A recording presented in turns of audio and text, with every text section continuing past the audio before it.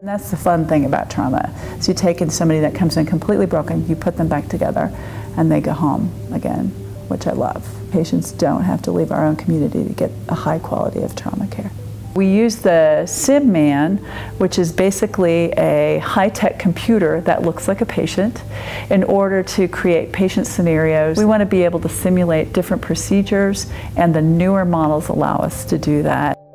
The newer higher fidelity simulators allow you to fully um, interact with this mannequin as if it was a real human being. We can have the patient get better with what they do. We can have the patient deteriorate with what they do so that they learn from their decision making and can change it. You can um, work with a team, um, really interact well with the, with the simulators. They're very realistic, so if you have a baby, they'll turn blue, they may be breathing, you can actually feel pulses.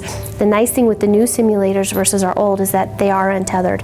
They'll be able to have our uh, simulation coordinator outside of the room uh, running the simulator while the student is inside actually making decisions for that patient. One of the biggest areas of error is actually between, uh, happens when you have communication issues between the team.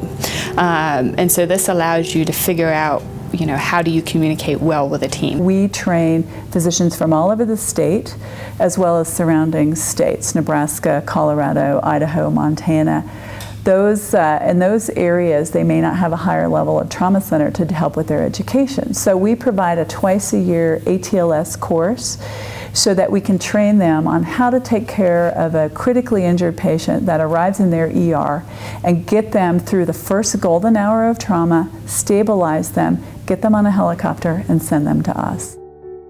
The whole world of education has started using computers for their training. We use them in surgery, um, we use them for critical care like with the SimMan, and I think a lot of younger people coming out, which are the people we want to come to our community, are used to that um, computer-based education system. Part of our nursing curriculum um, is the growing use of simulation. Uh, in fact, I think we have one of the finest simulation labs in uh, the, the West for preparing nurses, and it's been invaluable uh, in creating a training environment and educational environment that helps these students succeed the, the day they step onto the job our graduates who enter the nursing profession or any health profession, I think expect a level of technology and technology integration into the clinical environment that they were trained on. And, and they actually, in many ways, they may be seeking that out for the job that they choose. So in terms of a recruitment and, a, and an overall retention perspective, um, having simulation, having technology integrated into the healthcare environment at CRMC is actually probably going to benefit you from a recruitment and retention standpoint all of those services require that we have skills that are toned and sharp at all times.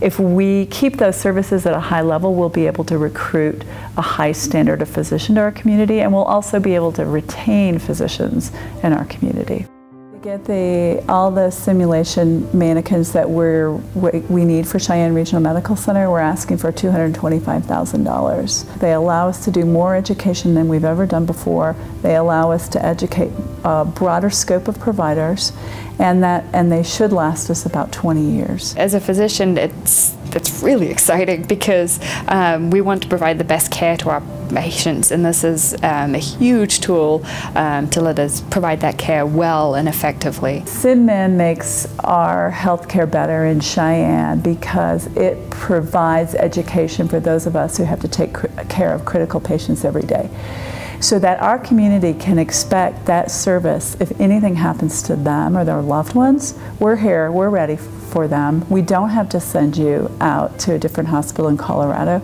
We can take care of all of your needs every day, and that's what we want to do here.